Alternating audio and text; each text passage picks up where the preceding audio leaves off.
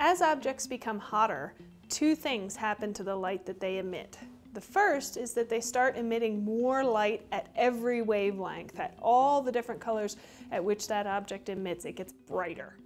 The second thing that happens is that the peak of the emission shifts from the red all the way up through the blue. It goes on even further than that if they get hot enough. So in other words, the object changes color.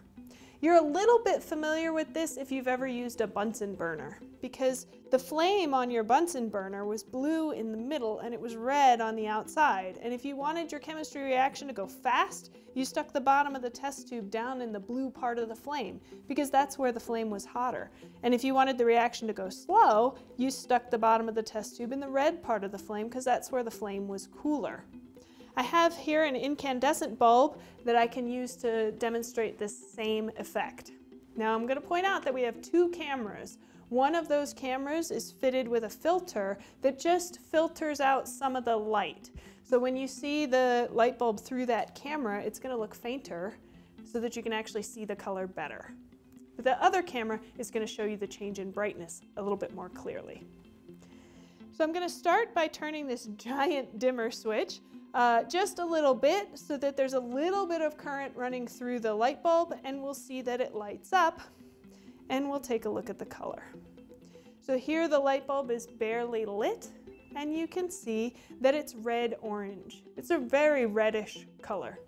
This is almost exactly the color of Betelgeuse, one of the stars in the night sky. If I add more current so that the filament gets hotter and hotter and hotter, you can see that the red goes away and the color becomes dominated by yellow. If I continue on and I go past that point and I keep heating up the filament hotter and hotter and hotter, you can see it gets much, much brighter as it gets hotter, but then it also turns bluer as it gets hotter. Until here, this is as high as I can go with this particular light bulb. And you can see that the color of the light bulb is definitely bluish and it's extremely bright at this high temperature.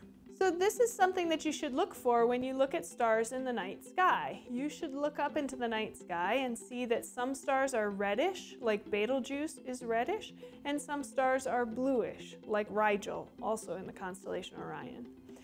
Stars are red or they're blue because they're different temperatures. So cooler stars around 2000 degrees Kelvin are redder, or hotter stars around 10,000 degrees Kelvin or even hotter than that are bluer. And sometimes they emit even into the ultraviolet or into the X-ray when they're very, very hot. This might be a little bit confusing to you, that hotter things are bluer and cooler things are redder. And that's because you're used to plumbing. In plumbing, what the plumbers do is they use blue for the cold tap and red for the hot tap. But that's just because of a physiological reaction of your body. So fair-skinned people, if they've been outside running around in the sunshine and they're all heated up, their skin turns bright red as the blood rushes to their skin. And then they can turn blue with cold in the wintertime when it gets really frigid. And so plumbers are responding to the humanness of your body and the way your body responds to hot and cold. And in science, and especially in astronomy, it's exactly the opposite. Blue things are hot and red things are cold.